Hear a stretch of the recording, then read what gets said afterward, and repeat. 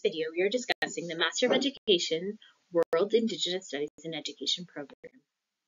The World Indigenous Studies and Education program allows you to pursue your research interests without leaving your community, family, or job.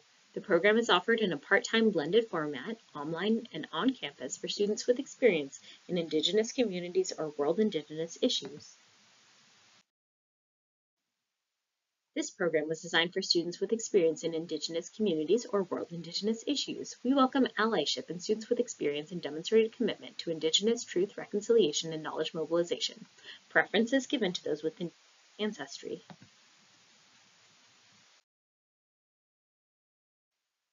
Why our program?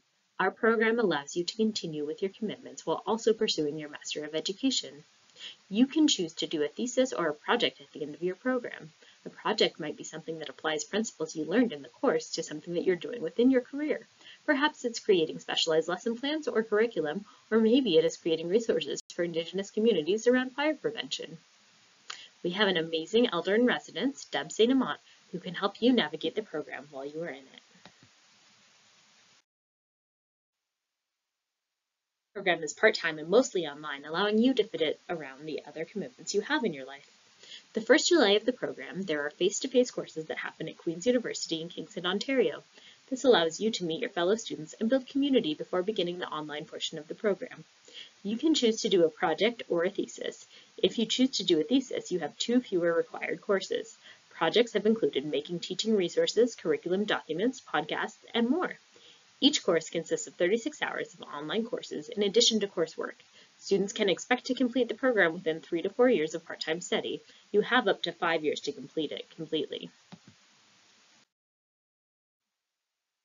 You can see a sample list of some of the classes we have offered to our World Indigenous Studies and Education program.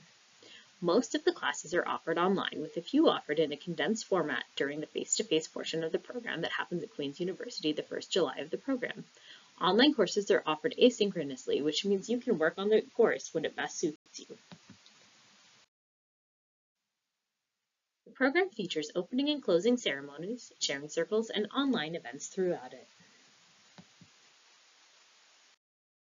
Students come from a variety of backgrounds, and as a result, we have a wide variety of admission requirements to fit different needs.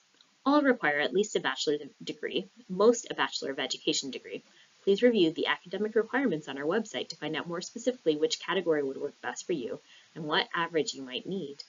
All applicants must submit two letters of support from respected members of the applicant's Indigenous community to which they belong or are related.